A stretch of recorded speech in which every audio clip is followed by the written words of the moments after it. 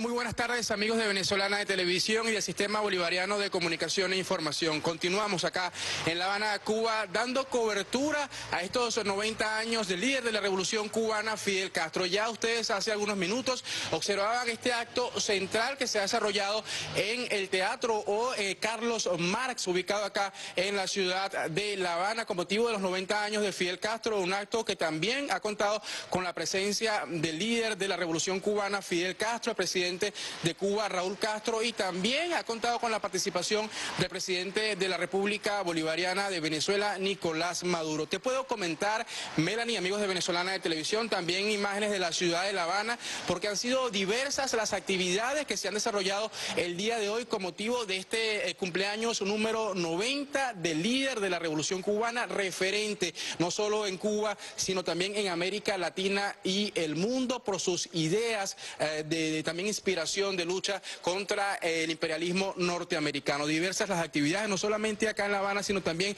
en otras ciudades de Cuba, a igual que se han desarrollado, como hemos visto, en varios medios de comunicación internacionales, en Venezuela, el caso también de Ecuador, de Bolivia, de Dominicana, diversas actividades que se han venido desarrollando. A propósito de lo que es este contexto, también comentarles a ustedes que en horas de la tarde ha arribado hasta acá La Habana, capital de Cuba, corazón llanero, ustedes saben, esta iniciativa cultural de intercambio que en esta oportunidad, tienen las imágenes, está eh, sobrepasando, cruzando nuestras fronteras para traer cultura, sobre todo hermandad, solidaridad, integración a través de la música, y en este caso la música criolla, nuestra música nacional, la música criolla. Allí ha venido una delegación de más de 40 personas que en el día de mañana se van a presentar en el Teatro Carlos Marx. Eso será en horas de la tarde, pero les comentamos que allí ha venido entre la delegación Freddy Ñáñez, ministro de la Cultura, también eh, Juan Escalona y Winston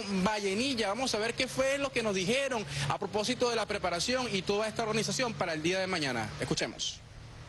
Venimos a celebrar la vida de uno de los hombres que abrió la brecha a Latinoamérica, que nunca dejó de soñar, que siempre fue una luz en el camino para las revoluciones contemporáneas y lo será para las revoluciones futuras. Estamos muy felices porque el presidente Nicolás Maduro hoy está dando inicio a aquello que se prometió el año pasado del Corazón Llanero Internacional y qué mejor honor que comenzar esta gira eh, internacional por nuestro hermano país Cuba celebrando los 90 años de Fidel Castro. Venimos llenos de entusiasmo, llenos de alegría, nuestros músicos, nuestros cantantes, nuestros copleros, nuestros bailadores y bailadoras a disfrutar de un concierto maravilloso, único e inigualable que ustedes van a poder disfrutar a través de la pantalla de TV y todos nuestros hermanos y hermanas de Cuba están invitados al Carlos Mar a disfrutar de este primer concierto internacional de un movimiento cultural, musical que está haciendo historia ya no solo en Venezuela, sino internacionalmente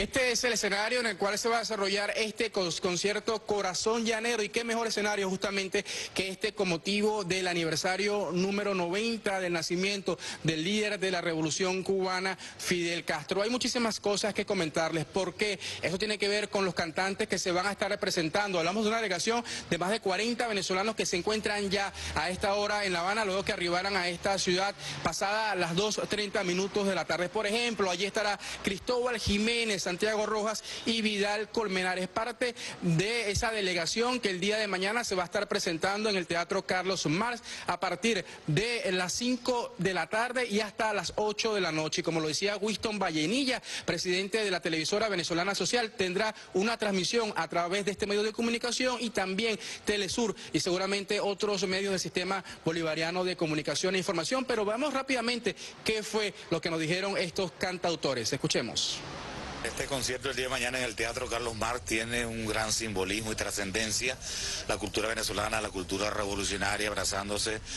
al pueblo de Fidel Castro. Me siento muy contento de por primera vez visitar a nuestra hermana República,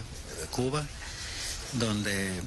estaremos todas y todos los conjuntos, cantantes, compositores, bailadores de Europa divirtiendo al pueblo cubano, y presentando gran parte del elenco de lo que se llama Corazón Llanero. Esas canciones que tantas veces cantó nuestro comandante eterno, Hugo Rafael Chávez Frías, es el mandato que se logra entre los países a través de esos dos gigantes, debe de seguir adelante a través del canto, la cultura.